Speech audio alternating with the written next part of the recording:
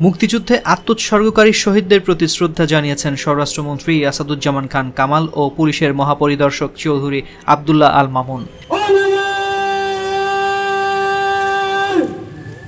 রোববার সকাল আটটায় মহান মুক্তিযুদ্ধে আত্মোৎসর্গকারী বীর শহীদদের প্রতি রাজারবাগ পুলিশ লাইন্স শহীদ স্মৃতিসৌধে শ্রদ্ধা নিবেদন করেন তারা।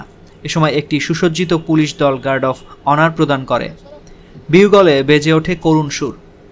প্রথম পুলিশ শহীদ স্মৃতিসৌধে ফুল দিয়ে শ্রদ্ধা জানান স্বরাষ্ট্রমন্ত্রী আসাদুজ্জামান খান কামাল। স্বরাষ্ট্র মন্ত্রণালয়ের সিনিয়র সচিব আমিনুল ইসলাম, আইজিপি চৌধুরী আবদুল্লাহ আল মামুন, অতিরিক্ত IGP Mohammad Kamrul Hasan, DNP commissioner Khandaker Golam Faruk, SB প্রধান মনিরুল ইসলাম ও র্যাবের মহাপরিচালক খুরশিদ আলম। পরে পুলিশ অফিসারদের সঙ্গে নিয়ে শ্রদ্ধা জানান আইজিপি চৌধুরী আবদুল্লাহ আল মামুন। এরপর একে একে বাংলাদেশ পুলিশ সার্ভিস অ্যাসোসিয়েশনের সভাপতি মনিরুল ইসলাম ও সাধারণ সম্পাদক মোহাম্মদ আসাদুজ্জামান সহ DNP commissioner Khandaker Golam Faruk, Bangladesh police women নেটওয়ার্কসের নেতারা পৃথকভাবে রাজারবাগ পুলিশ স্মৃতিসৌধে পুষ্পস্তবক অর্পণ করেন।